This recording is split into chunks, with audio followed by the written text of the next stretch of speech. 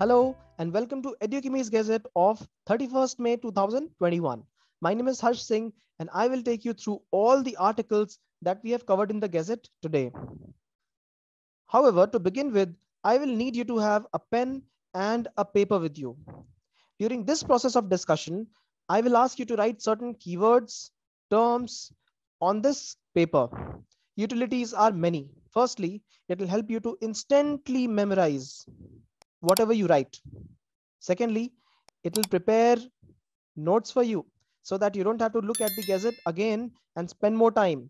And thirdly, it will help you to revise during the time of exams and maybe towards the end of the month, right? So please have a piece of paper and a pen with you to utilize your time in the best manner, right?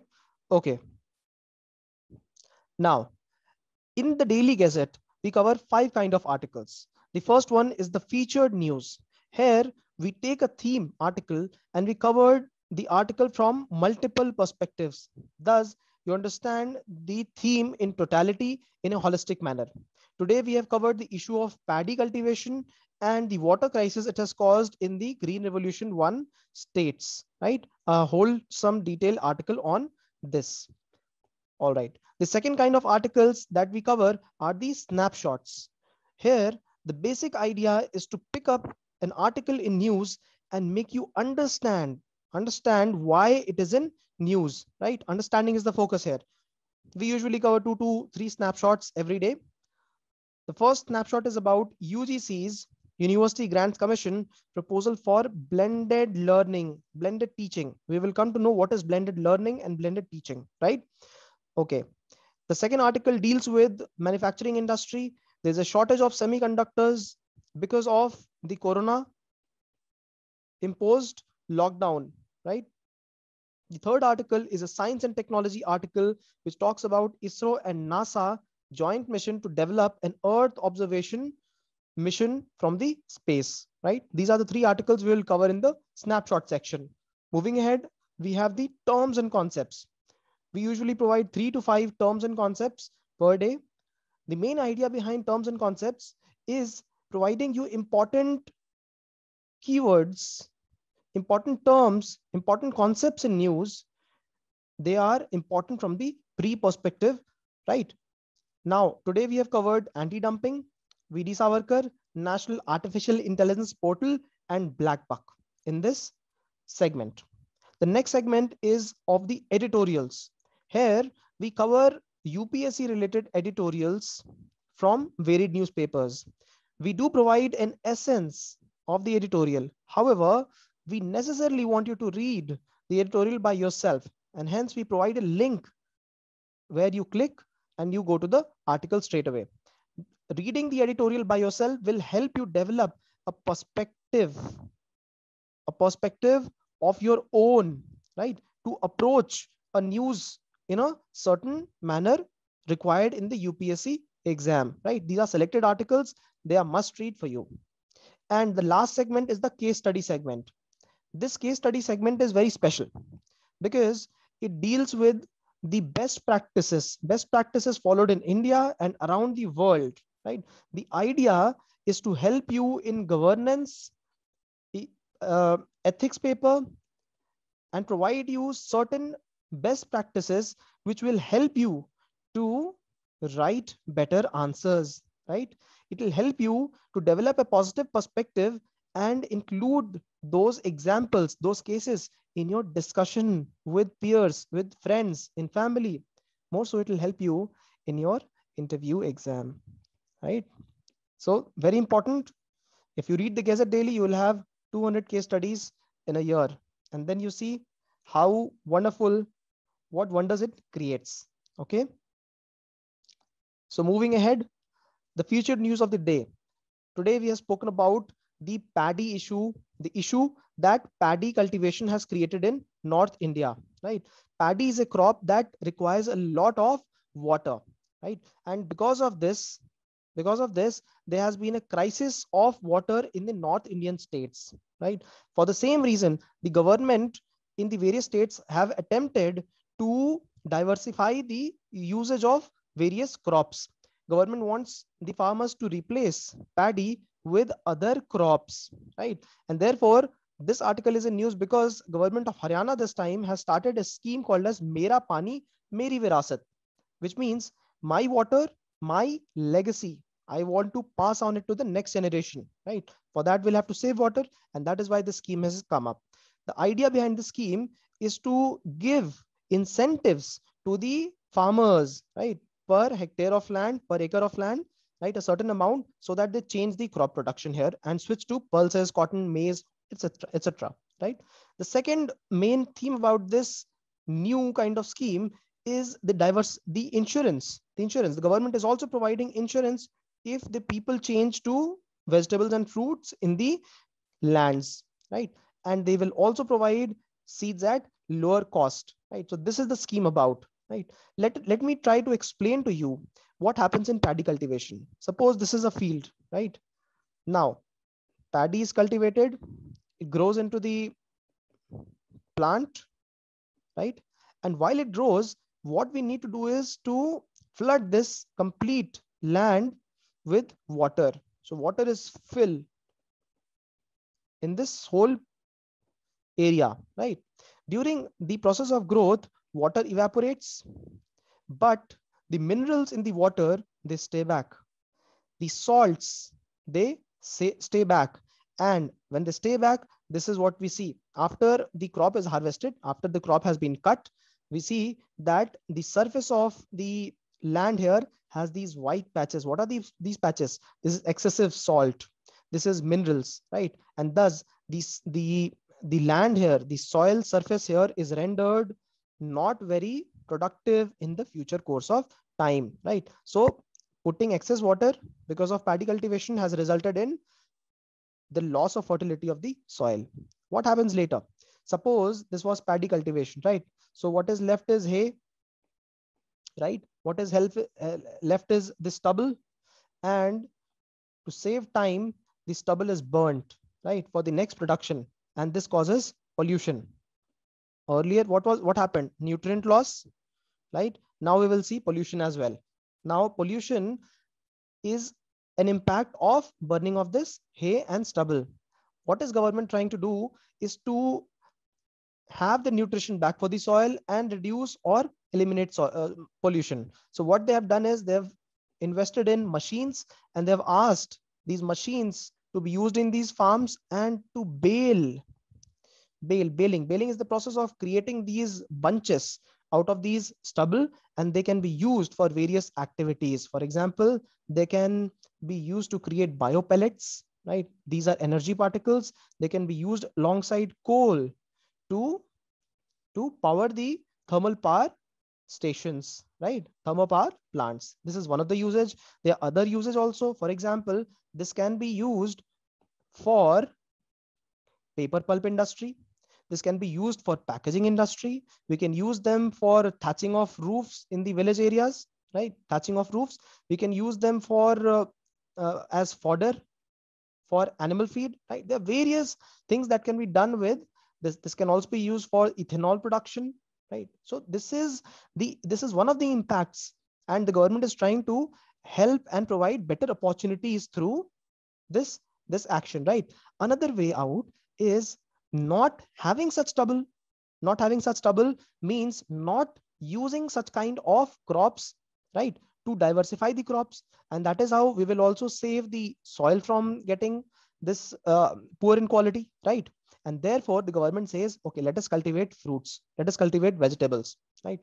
So this was the main issue in this area. The depletion in water level right?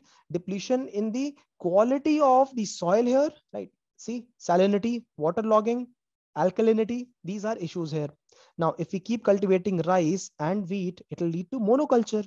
It will not help in nitrogen fixation, right? Because we are not cultivating pulses. We don't have those bacteria which fix nitrogen in the soil. We will need more nutrients. So there is an issue with nutrient management. There is an issue with water management. There is an issue with monoculture, right? There are multiple issues here, right? Also, the growing of paddy is not a traditional practice here. Paddy is cultivated in the tropical areas. However, because of green revolution, paddy started getting cultivated in this area also. But still, paddy, after all, stay, it, it faces the temperature stress in this, these temperate areas because it is traditionally meant for warmer seasons, right? So because of these issues, the government has tried to uh, ask farmers to diversify their production. But still, the farmers are persisting. They are insisting on production of paddy only. Why? Why? Let us look at this. First reason is contract system. Now, what happens in these uh, North Indian states like Haryana and Punjab? This land belongs to a person. He will not cultivate it. He will pass it on to a person who can cultivate it for a year or two. These people are poor people. They want money for survival. They will not look at the long-term interest of the soil or water in the region. All they will do is just cultivate the most economical and fastest crop and they will return some money to the owner and the use and continue their livelihood here right? So the contract system ensures that long term vision is not in picture. Only the short term is in picture right? Which is production and money right? Small money small production right? So this is an impediment. Second issue here now the system has already been laid out very well during green revolution for production of paddy and wheat right? What does it do? It provides assured msp the people who cultivate these crops they know that their products their, their production will be taken by the government assured prices and good prices. We also know that msp for wheat rice these are all political uh, politically associated developments as well right? This is another factor here. Such such incentives are not given for other crops even if they are given they are not given in a very very good quantity right now the third issue is free electricity. What does farmer have to do? They have to just switch on their motor pump, submersible pump, and water gushes to the fields. Their, their farm is irrigated, right? It is very easy for them. Now, this free electricity policy also has impacted and they're happy with it because the system is such, right? The fourth issue is that we already have an established mechanism. For example, we have machines, we have procurement mechanism, right? Now, if we want to change to different crops, for example, if you want to choose horticulture crops or floriculture, labor will have to be invested here. And when labor is invested, then there'll be change in the whole system of production supply chain, which the farmers are as of now resistant to, right? So these are the issues here. However, the government needs to do something to change this again. What can it do? The government could provide remunerative prices for the other crops that the government wants people to grow right it can assure the people that yes we will we will purchase your produce right so this is one important measure that government can, can take the other important measure is having incentives for the poorer community. See the richer farmers will have more margin of money will have more margin of land. They can switch easily. They can look at mid-term and long-term interest. However what about the poor people? The people who cultivate for one one year or two in one field and then move to the other right? So for those people the government needs to handhold them. The idea has to be that they help them. They help small marginal farmers women and weaker sections to grow out of this this vicious cycle of growing paddy and wheat all the year round right once they change they will be given a lot of incentives and then there'll be a very beautiful virtuous cycle of production the electricity subsidy, if the government rationalizes it, people won't gush out the water of the earth, right? So this electricity subsidy is also very important uh, player here, right?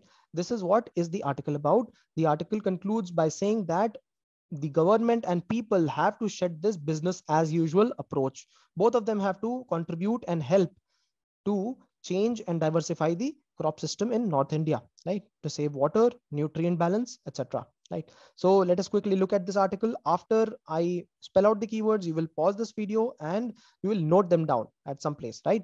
Now, note down Mera Pani Meri Virasat, Haryana government, because this is a very good scheme you can use as case study that the governments are trying to help with, right? Write down the word incentive and then write down insurance and seeds right? So these are the three key points of this particular scheme. Okay, moving ahead. What are the issues? Issues are depleting water level. Water level is one. Then salinity is another one. Then temperature stress is another one. Monoculture, right? Write down these four issues here. Okay. And even despite government providing such benefits, people are not moving ahead with new cultivation practices, not diversifying. Why? Because of four reasons. One is contract system of farming. Second, lucrative MSPs. Third, free electricity. And fourth, established mechanisms, right? Where if if changed, people will have to labor more, right? This is one example. So just write down these headings, contract system, lucrative farming, MSPs, free electricity and established mechanism. And what are the suggestions government can actually implement? One is have remunerative MSPs for other diversified crops and differential incentives for weaker sections, right? The article is over. Moving ahead. This day in history. This is the day on which ahilya Ahilyabai Holkar, the lady queen, was born. Who was she? She was the Maratha Malwa queen in the Indore region near river Narmada.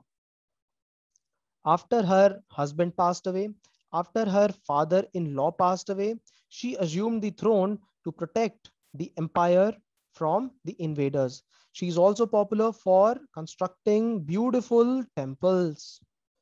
So we see women empowerment through the leadership of Ahilba, Ahilyabai Holkar. Moving ahead. Now, we have come to snapshot short section and this is where I will explain to you why this article has been in news. The first article is about University Grants Commission proposal for blended teaching, blended learning techniques, right? What is blended teaching and learning? Let me explain. This person is Copernicus, right? We know him for his heliocentricity theory, heliocentric theory where he said that all the celestial bodies they revolve around the sun. Earlier what we knew was earth was the center and all the other bodies would this is earth all the other bodies would revolve around earth right? But he opposed it. He said no it is sun around which all the bodies revolve correct? Now we know him as an astronomer. However he was also very well equipped with linguistics knew many languages. He was also a very good diplomat and also an economist right? So many facets to the same person. That is why we call such kind of people as polymath multi-talented in various dimensions of education and learning right? So how do we link him to our article? Okay.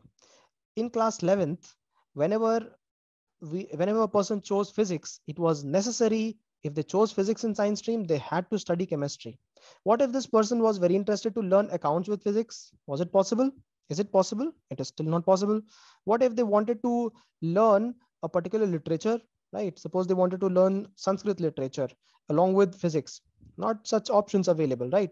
This blended teaching, this offers all these avenues, right? So one important agenda of blended learning is that the person will get to choose subject combinations of their interest. They will blend, right? All the forms of learning with each other. It'll, they'll make it more flexible, right? Another thing. Now, we had to complete our graduations in three years, technical degrees in four years. However, if a person wants to complete it in five years because they have certain other commitments, profession, family, etc., they can do this as well. So they provide extension and flexibility of completing the course, right? They also provide online and offline education a, a, mold of both of them. So blend they are blending it. Blending is not just online and offline. Blending is also subject choice time choice right? Credit credit choice right? How they gain credits right? So these are various ways to blend education. Ugc has also spoken about student engagement. What is that? Now in student engagement what usually is done is teacher is the one who is the speaker and student is the one who listens. When we engage students they also give feedback they also ask questions they also engage themselves. So the idea behind new system is to engage students even more right? So that their participation and involvement increases. Learning outcomes. The new system wants to focus more on the outcomes than the output. What is the difference? Output is 85% marks i secured 75% marks. This is the output. How what is the outcome then? Outcome is not as much about the marks as it is about the skills gained. Not as much about the marks as about the job the gainful employment gain. It is about becoming the rancho of three idiots right? So that is the learning outcome which the government which ugc wants to focus on in this new blended learning system right? Evaluation patterns what is the present pattern? We have to go to the exam hall and write down the paper and come back. Marks given and we passed. Over. But in the, this new system the idea is to have open book test to have group evaluations right for teamwork for understanding things better right? These are new ways of learning right? Have on demand exams. The day we want to conduct our own examination we will apply for that date right? These are the various new pr proposed techniques for blended learning right? Now online exam corona has disrupted the whole system of education. We see 12th exams getting postponed or cancelled 10th exams already cancelled graduation entrance exams etc all disrupted. Now this new system will have online exam as well and it will help things to get blended in a modern mechanism as well okay? So what are the issues we have to balance every article. We have to think from all round perspective as an administrator right? So what are the issues with this? Let me explain. We operate on 4g technology 5g technology approaching 3g technology right? We have laptops ipads smartphones right? We have pcs to operate on right? Thirdly digital literacy we we are aware how to download apps. We understand the language of english. We understand how things happen online right? Financial payments etc what about people in rural areas? Will they have 4g connection? Is there internet connectivity and penetration of that speed there? Do they have these gadgets? Do they have that finance to afford these? Or do they even have the literacy to be able to afford this? What about females? Digital literacy is even lesser in the rural areas and and females it goes even worse right? So how can we expect all the population to be a part of this blended learning technique right? There'll be a huge level of exclusion. And therefore whenever in india in these times we talk about online education digital divide is an important area of concern. One cannot cannot miss this digital divide as a keyword right? Very important. Okay. The other issue is about campus interactions the idea is to increase peer-to-peer interaction right? Student student interaction and also increase interaction with the teachers. However in online system this gets reduced. So these are two concerns in this uh, system of education right? Two important concerns. So let me summarize so that you will be able to write down the important keywords. Blended learning. Write down this keyword. Go ahead and write down student engagement learning outcome evaluation pattern and online exams right? These four phrases. And then in concerns you can write digital divide and and campus interactions right? So the article gets over. Moving ahead to the next snapshot. Corona has disrupted industries also right? Industrial production as well. And one of the important industries affected is the semiconductor manufacturing industry. There is a there is a term called as chip lead time. Now if as an individual I demand for some chips from the industry, chip industry, semiconductor industry, and they give it back to me after a few days. I demand it in five days time, the message reaches them and they take 10 days of production and they give it back to me in five more days. So it takes 20 days for this to happen. This 20 days is the chip lead time, the time in which I get back my chip right now the chip lead time has extended why has it extended because simply because of lockdown Corona imposed lockdown. Another important keyword here is the stay-at-home economy. What is it? Now, in this stay-at-home economy concept, the governments have asked people to stay at homes. All their e-commerce, all their commerce is happening through internet. All their food is getting delivered through internet.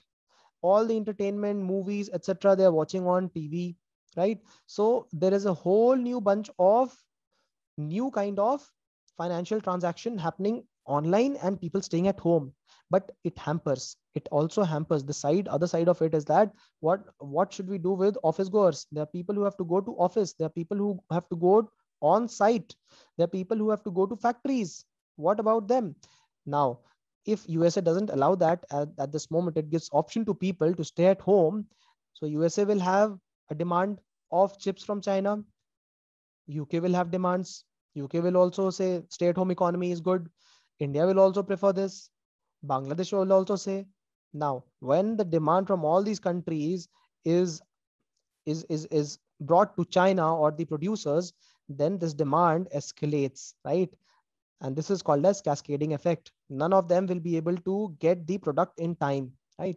Now, one important reason, another important reason is beyond corona, right? In these modern times, we have seen increased use of electronics, right? We see that in vehicles also, a lot of electronic components have started to be used these days. In fact, two decades back, 20% of the component was electronics in price terms. So if a car was 10 lakh rupees, 2 lakh was dedicated to electronics. But now 4 lakh, up to 4 lakh rupees is spent on the electronics only in the assembly lines, right? So this shows there's been an increased consumption of semiconductor in these vehicle industry, right? So this is another reason for having a, a more chip lead time, right? What is the impact? As simple as that, reduce supply, reduce production of vehicles because of this, and then delay in in in supply of the vehicles to the consumers and reduced features. So companies like Nissan have reduced, company like Renault have, have reduced on some of the important features which are digitally done in the vehicles. What is the way out? Fighting this pandemic? Simple. Restoring the system of uh, traditional industries. This is the way it is to be done. So in this article, the keyword is chip lead time, stay at home economy. Now stay at home economy can be used in multiple answers. Utilize it well. It will help you grow your vocabulary. It'll the intellectual vocabulary right? So use this word at places cascading effect important word right and increased consumption right these four terms you can uh, remember this you need not write because it is a natural flow reduced supply less production and less distribution right okay moving ahead then the next article is about NASA and ISRO working together. What are they constructing? They're constructing an Earth observatory from space. Okay. I'll help you remember this. Nisar. What is Nisar? Not the Jan Nisar song. It is NASA, ISRO, synthetic aperture radar. A science and technology term here, right? Now, ISRO and NASA have joined hands to build this satellite system. This will observe the Earth. This is the radar, you see, and this is the satellite. Now, this radar satellite is going to revolve around the Earth. And what will it do? It will keep on observing Earth from various places and later it will construct a three-dimensional image of the Earth. What will it do then? it will construct this image and use it for understanding the climate change processes happening, for understanding disaster management, right? For understanding forest fires, for understanding resource and mapping of resources and various activities associated with it, right? So after creating this 3D holistic view, right, the idea is to work on climate change issues, work on surface issues. For example, if glacial activity has increased, icebergs have collapsed, right? So this is what the this this Earth observatory system will focus on, right? It will pass on information to the Earth and it will be used to study these hazards, right? To be able to control them, mitigate them, or manage them, right? And study natural resources to be able to utilize them well. Now, one example of it is aerosols. For example, what are aerosols? These are suspended particle in the air, right? Suspended solid liquid particles in the air. Now, suppose this is Earth and these are incoming solar radiations. Here we see that the radiations hit the Earth and it, they warm the places around it. But if the aerosols present, it is possible that the sun rays will get reflected and thus this area around the earth won't get as much heat.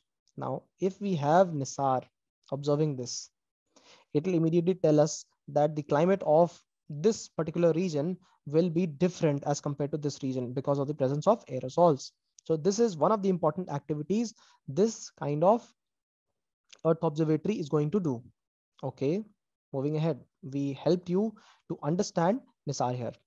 Image of the day, interesting image of Surya Kiran. What is Surya Kiran?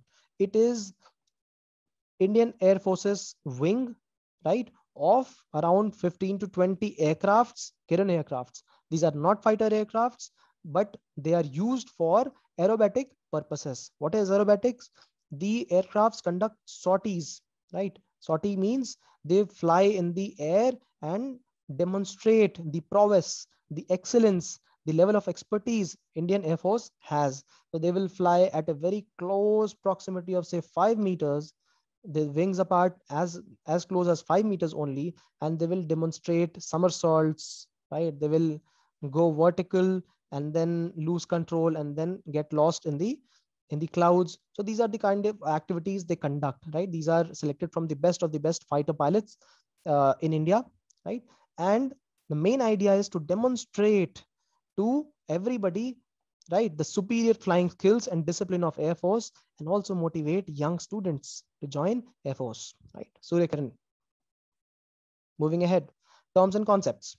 Now today we have discussed important terms in news the first one being anti-dumping okay?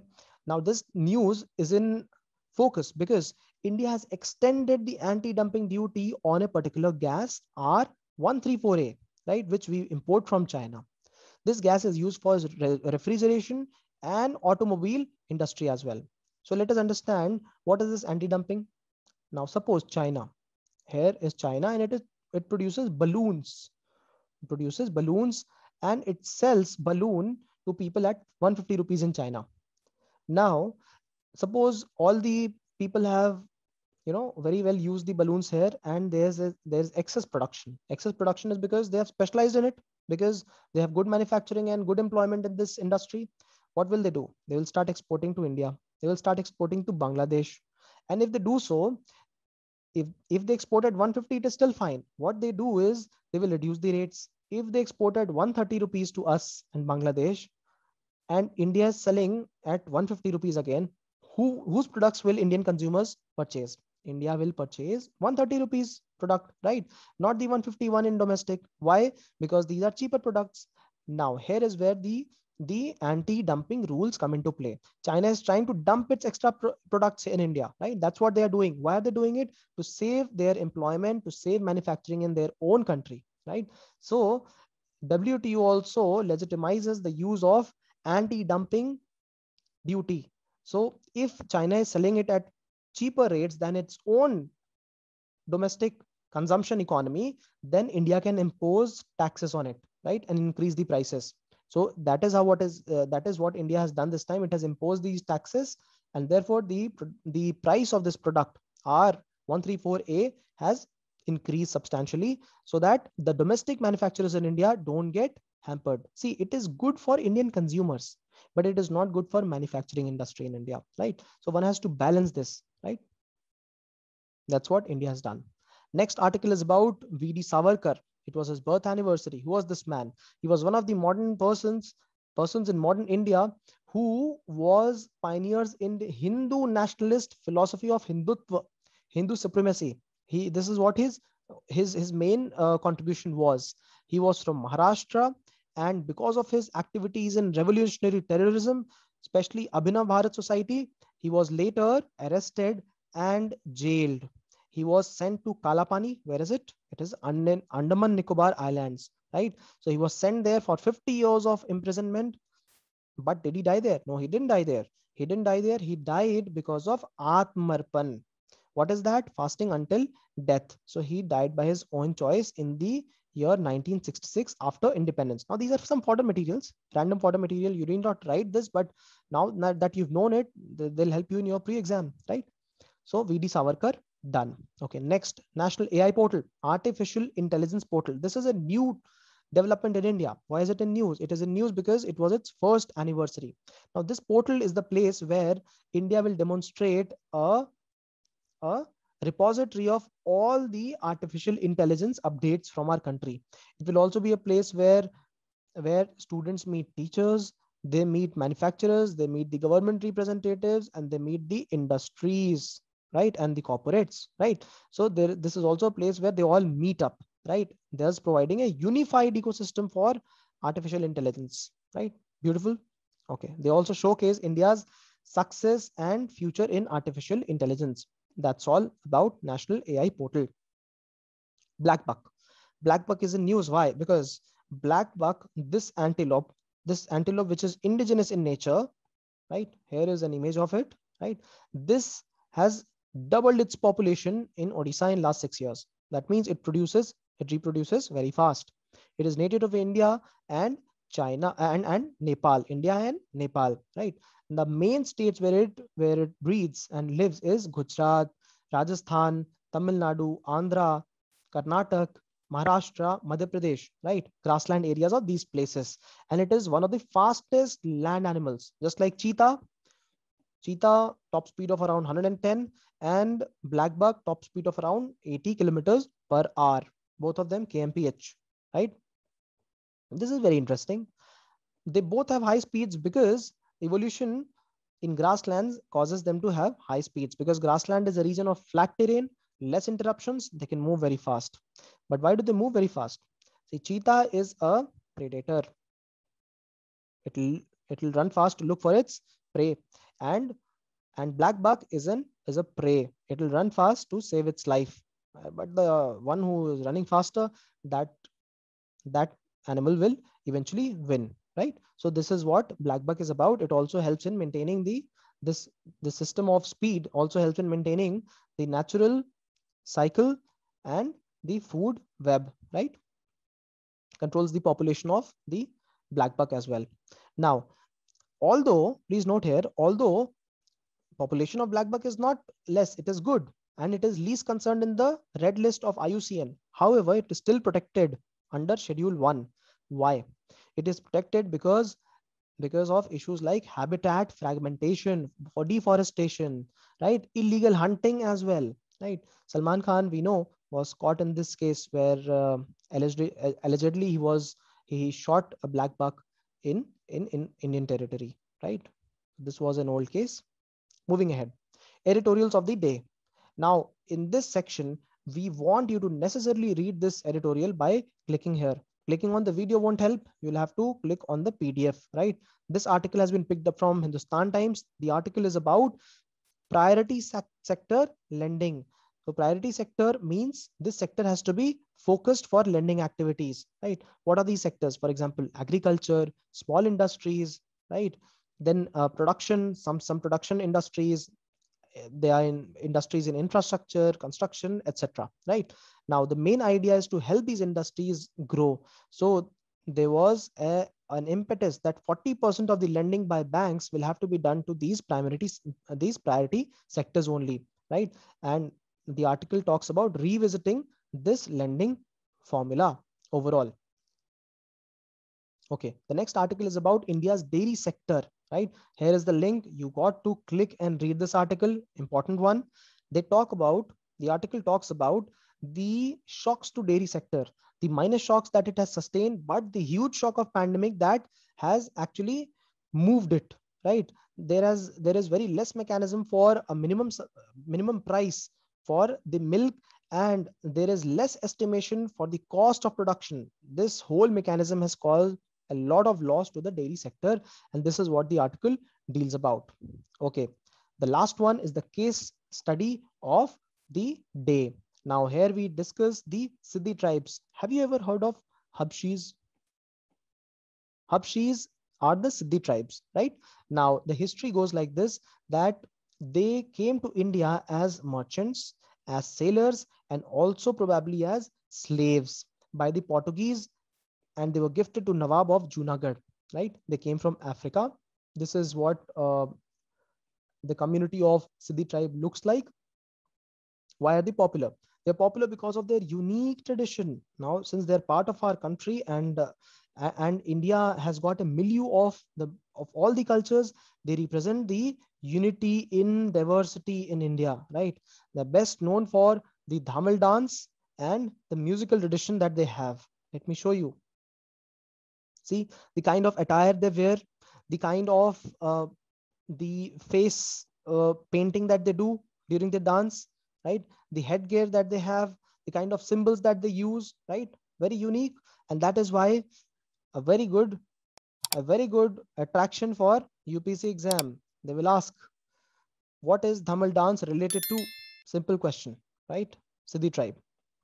Okay. Also look at the percussion instruments right? The dhols the the kind of dhols that they use they're not the common ones. So they have a unique tradition of music as well right? This is how we know the tribe tribes of india the siddi tribe right? Depicting unity in diversity the diversity and and the kind of traditions the diversity of traditions in india right? Through this we come to the end of the gazette discussion for 31st may 2001 bye bye